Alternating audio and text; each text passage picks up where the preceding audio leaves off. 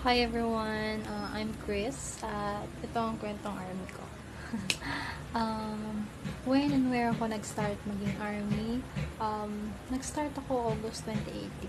Hindi ko makakalimutan yung buwan na yun kasi sobrang dami kong pinagdaanan ng month na yun. Um, nalaman ko na may sakit yung papa ko, may problema pa kami financially, tapos um, may problema pa sa work. Tapos yung mga friend na kailangan ko, sobrang busy. Kaya ayun, pasok ako ng work noon. Mm, nakikinig ako ng mga kanta sa YouTube, mga OST ng mga k-drama. Tapos biglang sumingit yung Hanatulsat na kanta ng BTS. Um, ang lyrics noon, um, it's okay, 1, 2, 3, makakalimutan mo rin yan.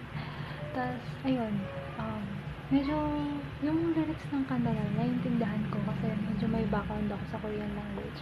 Tapos, ayun, habang pinapakinggan ko siya ng pinapakinggan, eh, umiiyak na pala. Hindi ko na namamalaya na umiiyak ako sa jeep. So, ayun. Simula nun, um, um, naging nakikinig na ako ng kanta ng BTS. Na-comfort talaga ako ng kanta nila.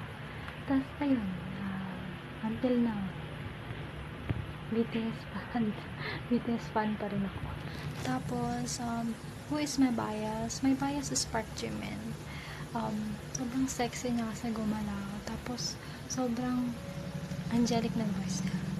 Tapos, um, um, sobrang gullible niya lang. Ang positive lang ng aura niya. Hindi ka ma hindi mo maiisip na nagkaroon siya ng issue nung debut niya. Sobrang benas siya nung nag-debut time. Kaya yun, nag, yung effort niya, yung hard work na ginawa niya, sobrang dami niyang ginawang magbabago sa sarili niya. Ayun. Tapos, um, how did they inspire you?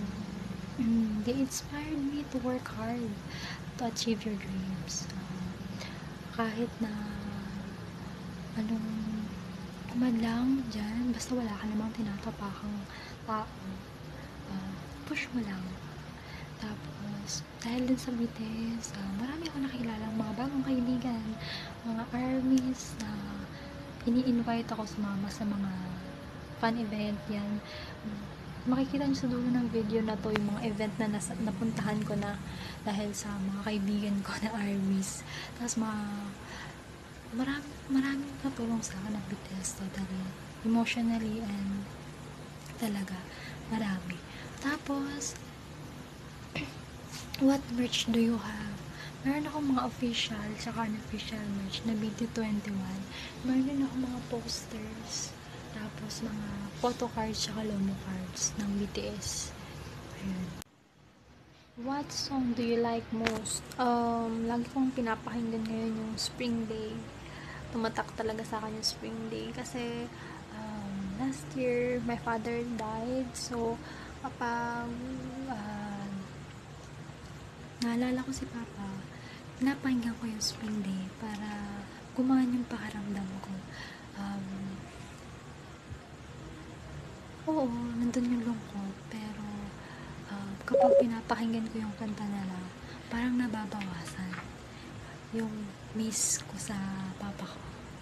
Ayun.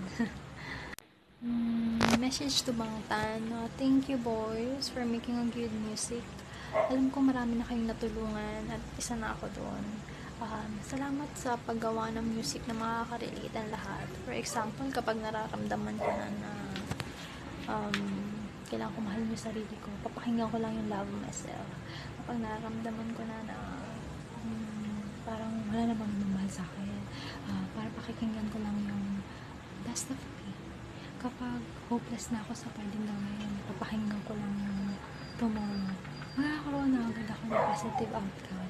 So, borahe.